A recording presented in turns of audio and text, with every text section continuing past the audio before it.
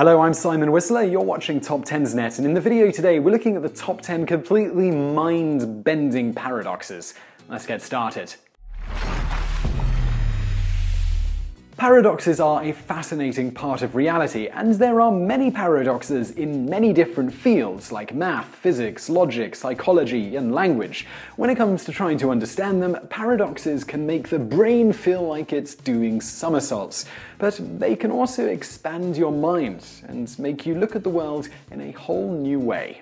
Number 10. Hilbert's Paradox of the Grand Hotel. Imagine, if you will, that there is a hotel with an infinite number of rooms and each room is booked with an infinite number of guests. If that were the case, then every single room would be booked, right? Because an infinite amount of guests would fill an infinite amount of rooms. But the hotel has a weird paradox where there are always vacancies and they are always booked.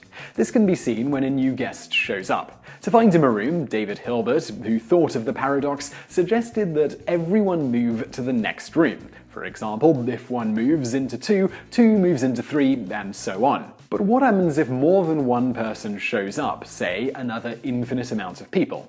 Hilbert says that the people in the rooms could just go to the room number that is double their current number, and then there will be room for everyone. This paradox speaks to the nature of infinity and has fascinated mathematicians for decades. It also probably gives hotel employees terrible nightmares.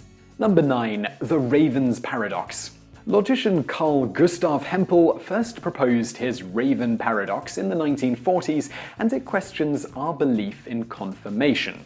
We make confirmations in both science and everyday life based on observations. For example, let's say a detective was trying to solve a crime. He would find evidence, and the evidence would back up his theory, disprove his theory, or the evidence could be neutral. The evidence could also be strong or weak. What Hempel asks is what does it take for a piece of evidence to confirm the hypothesis rather than disprove it or be neutral about it? To demonstrate the paradox, Hempel talked about ravens. He said that after observing a few ravens and noticing they were all black, someone may infer that all ravens everywhere are black. But that is impossible to check because there have been so many ravens throughout history, and there will be more in the future, and just one non black raven would disprove the theory that all ravens are black. Also, there is the contrapositive, which is another theory that is the opposite of the hypothesis, but is still true. For example, the contrapositive of all ravens are black is that all non black things are non ravens. This means that every single thing that is non black and non raven, like a blue shirt or a yellow tennis ball, proves that ravens are black. Of course, there are way too many non black, non raven things in the universe, and so that type of information does not contribute to the hypothesis that all ravens are black.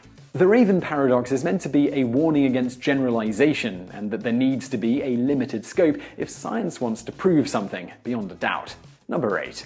The Friendship Paradox.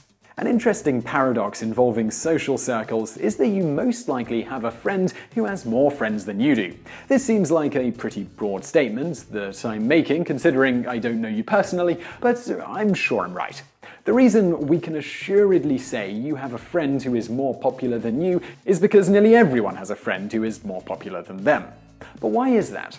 Well, first and foremost, people with a lot of friends are more likely to be your friends anyways. But why everyone probably has a friend more popular than themselves is because popular people are part of more social networks, so they are misrepresented in averages because they appear more times. This makes it look like there are more popular people, but popular people actually just spread themselves out more, and this affects probability. Of course, the paradox is much more complicated than we've explained, but if you'd like to learn more, visit a great New York Times article that I'm linking to in the description. So if it seems like other people are more popular than you, they probably are, but this is due to the laws of probability. Number 7. The Barber Paradox. The barber paradox from British philosopher Bertrand Russell takes place in a small town with some strict personal hygiene laws.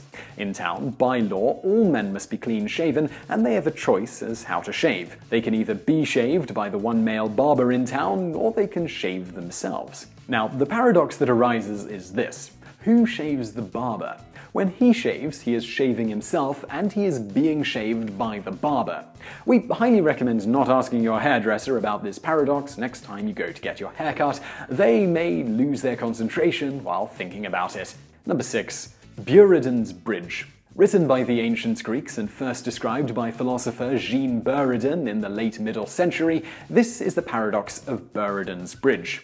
In the paradox, Socrates is traveling and wants to cross a bridge that is being guarded by Plato. Plato tells Socrates that he can only pass if he tells him the truth, but if Socrates were to lie, Plato would throw him over the bridge to drown him. Socrates responds by saying, You'll throw me in the water. So, what will Plato do? Throw Socrates in the water? That would mean Socrates was telling the truth and should have been allowed to pass. But if Plato allows him to pass, then Socrates wasn't telling the truth. Number 5. The Liar's Paradox. The Liar's Paradox can be summed up in one sentence Everything I say is a lie. But it is impossible for that sentence to be true because if everything I do say is a lie, then that sentence would be true, meaning that not everything I say is a lie.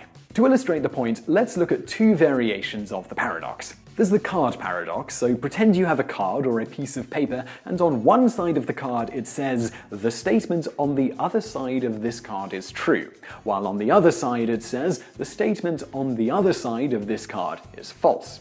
Both sentences can't coexist with each other on the card because they cancel each other out.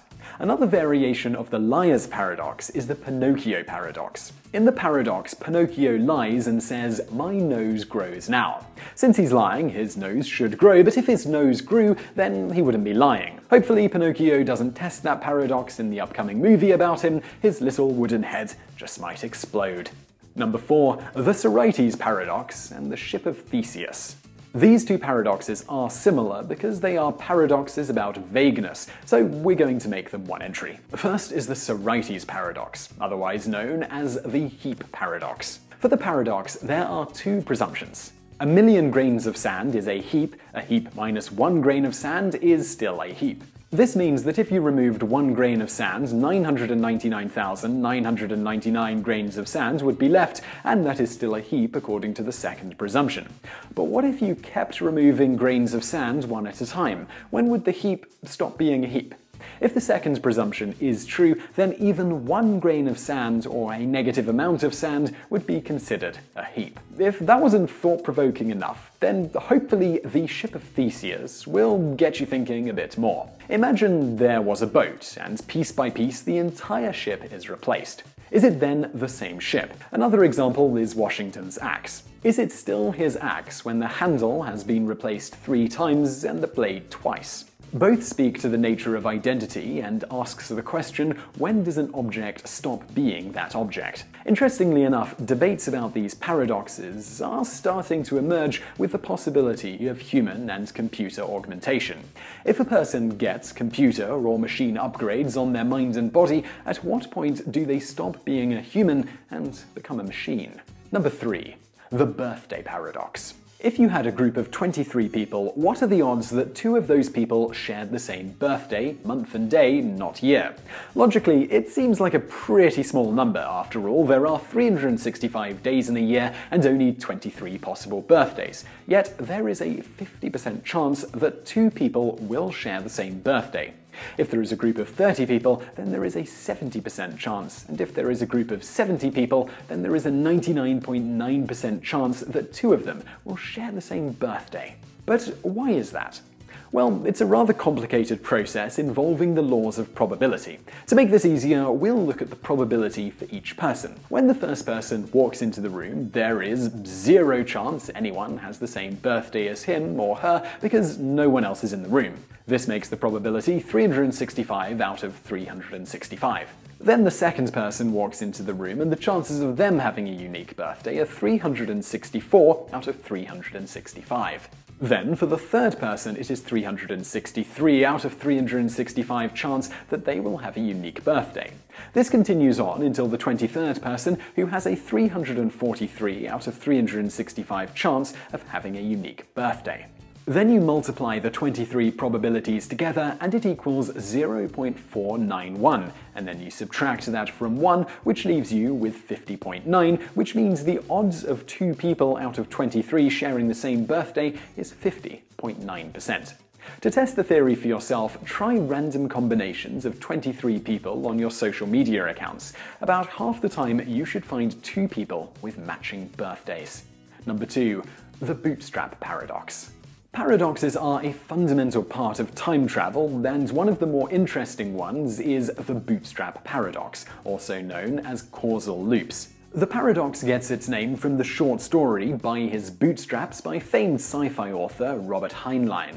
The paradox works like this. Let's say you bought a copy of Romeo and Juliet and traveled back in time to the English Renaissance. Once there, you find a young William Shakespeare and you give him a copy of Romeo and Juliet. He copies the play word for word, and then he simply presents the play instead of writing it.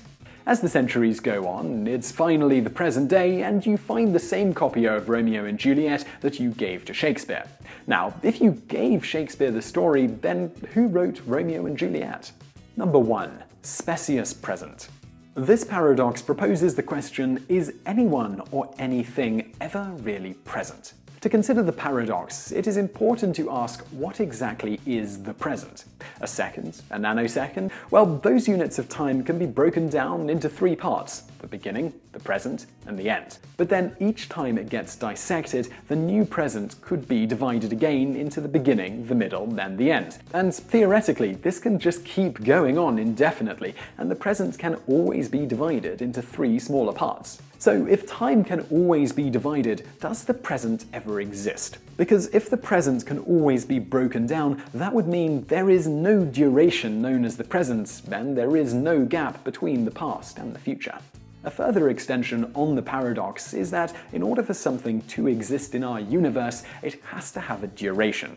For example, something can't exist for no amount of time. So if the present has no duration, does that mean the present doesn't exist? And if there's no such thing as the present, what does it say about the existence of the universe?